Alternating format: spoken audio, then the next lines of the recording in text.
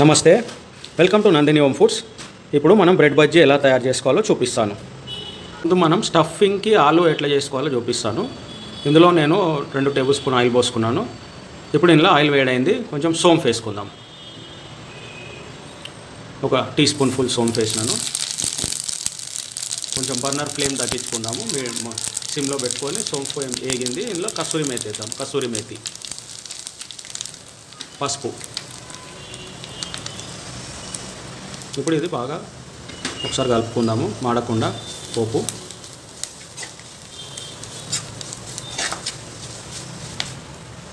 ఇప్పుడు ఇందులో మనం green chilli chop green chilli వేద్దాము. ఒక మూడు గ్రీన్ చిల్లీలు నేను చాప్ చేసుకున్నాను. దీనిలో మనం నేను బాయిల్ చేసి స్మాష్ చేసుకున్న ఆలు వేస్తున్నాను. ఒక మూడు ఆలులను మూడు మీడియం సైజ్ ఆలులను బాయిల్ చేసి దాన్ని స్మాష్ చేశాను ఆలు వేసుకున్నాను. మొత్తం పేస్ట్ లాగా చేసేసాను ఆలుని. దీంట్లో కొంచెం సాల్ట్ వేద్దాం ఒక టీ స్పూన్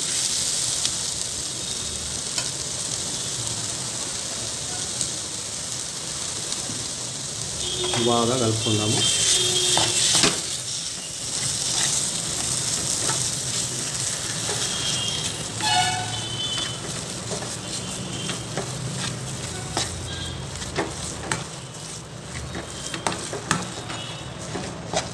ఇది మనం ఆలు స్టఫింగ్ చేసుకున్నాము రెడీ అయింది. బర్నర్ ఆఫ్ చేసుకొని ఇందులో ఒక నిమ్మకాయ పిండేసుకుందాము.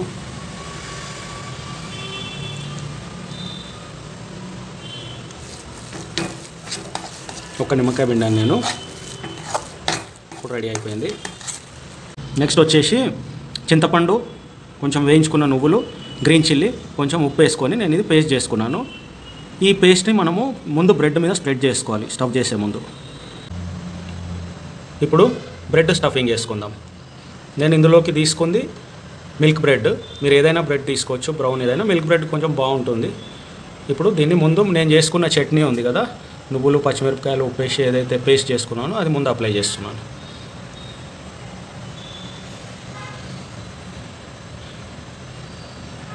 రెండు స్లైస్లకు అప్లై చేయాలి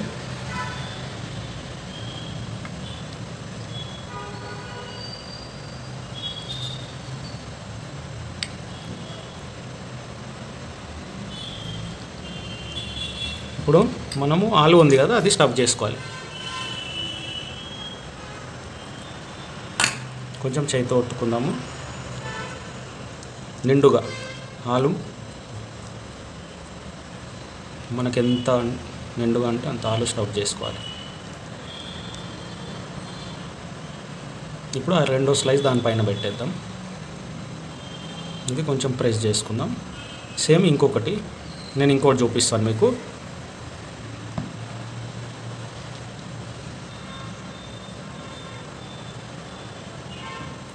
సేమ్ స్టైల్లో మనం చేసుకున్న చట్నీ అదే పేస్ట్ దీనికి అప్లై చేసుకుందాం. బ్రెడ్ పైన స్ప్రెడ్ చేసుకున్నాము. ఇది నువ్వులు పచ్చిమిరపకాయలు ఉప్పు కలిపి పిచ్చి కొంచెం చింతపండు కలిపిన పేస్ట్.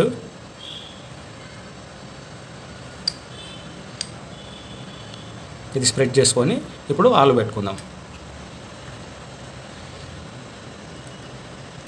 ఆలు స్టఫింగ్ మనం ఏదైతే మసాలా తయారు చేసినామో ఆ స్టఫింగ్ పెట్టుకుందాం. కంప్లీట్గా బ్రెడ్కి కంప్లీట్గా ఉండాలి స్టఫింగ్ ఇప్పుడు దీనిపైన అది పెట్టేద్దాం. బ్రెడ్ని మనం కట్ చేసుకుందాము. ఇది ట్రయాంగిల్ షేప్లో కట్ చేయాలి. ట్రయాంగిల్లో టూ పీస్ చేద్దాం ఫస్ట్ మళ్ళీ ఈ టూ పీస్లో కూడా మళ్ళీ ఆఫ్ ఆఫ్ చేసుకుందాం.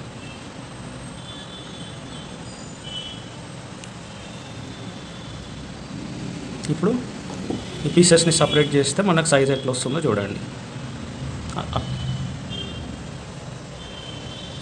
ఇప్పుడు మనము బ్రెడ్ని ఇలా కట్ చేసుకున్నాము. దీన్ని బ్యాటర్లో ఎలా ఫ్రై చేయాలో చూపిస్తాను. మనము రెండు స్లైస్ల మధ్యలో స్టఫ్ చేసి దాన్ని నాలుగు పీసులుగా చేసాము ఇప్పుడు దాన్ని బ్యాటర్లో కలిపి ఎలా ఫ్రై చేయాలో చూపిస్తాను. మీకు ఇప్పుడు మనము ఈ బజ్జీ చేసుకోవడానికి బ్యాటర్ రెడీ చేసుకుందాం. ముందుగా ఇందులో శనగపిండి. ఇది నేను టూ హండ్రెడ్ గ్రామ్స్ తీసుకున్నాను. రెండు వందల గ్రాముల శనగపిండి. ఇందులో హండ్రెడ్ గ్రామ్స్ బియ్యం పిండి. శనగపిండికి సగం. ఇప్పుడు ఇందులో కొంచెం ధనియాల పొడి వేద్దాము. ధనియాల పొడి ఒక ఒక హాఫ్ టీ స్పూన్ వేద్దాము. వేసి హాఫ్ టీ స్పూన్ ఉప్పు వేద్దాము. కొంచెం సోడా వేద్దాము తినే సోడా. ఒక రెండు చిట్కెట చిట్కెడు వేసి ఇప్పుడు ఇది కొంచెం పసుపు వేద్దాము. ఇది నీళ్ళు పోసి బ్యాటర్ కలుపుకుందాం. ముందు మిక్స్ చేసుకుందాం ఇది చేతితోటి ఇప్పుడు నీళ్ళు పోసుకుంటూ బ్యాటర్ కలుపుకుందాము.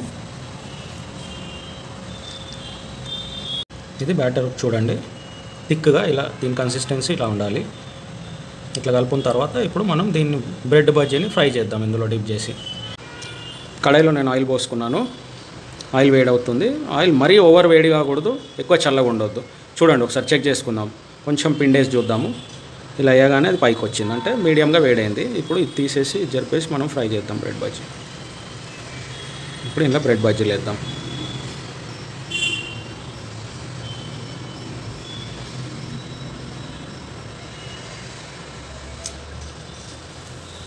నాలుగు పీసులు వేద్దాం ముందు. ఇంకో పీస్ ఇంకా రెండు పీసులు వేద్దాం.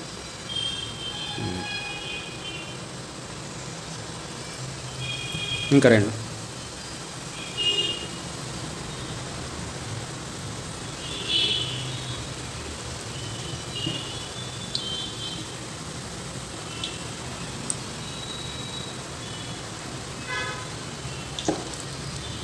ఇప్పుడు ఇది కొంచెం సేపు మనం టచ్ చేయకూడదు.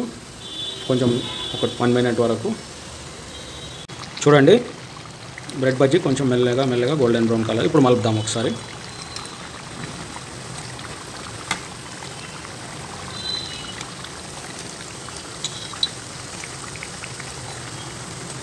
ఇది గోల్డెన్ బ్రౌన్ కలర్కి వస్తుంది మెల్లగా. ఇంకా కొంచెం ఫ్రై చేసుకోవాలి.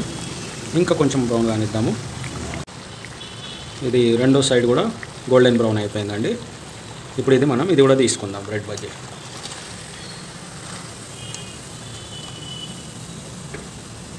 బజ్జీ కూడా మలుపుకుందాము టర్న్ చేద్దాము.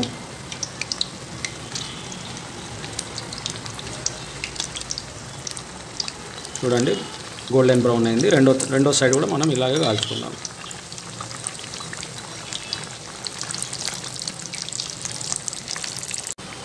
చూడండి గోల్డెన్ బ్రౌన్ అయిపోయింది. ఇప్పుడు తీసేద్దాం.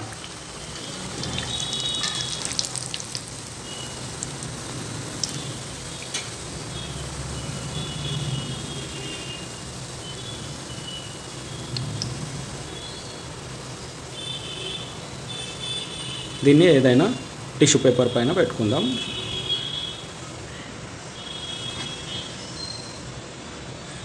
ఇప్పుడు మిగిలిన బ్రెడ్ బజ్జీలు కూడా అలాగే వేసేద్దాం.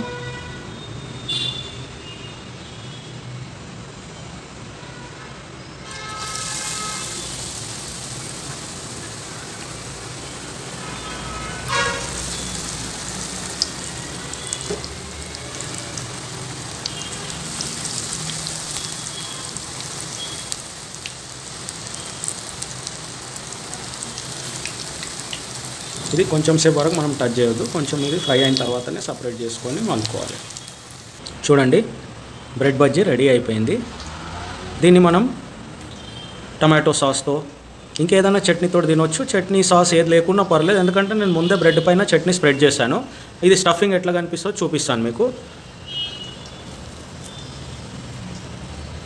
చూడండి bread bajji ready thank you take care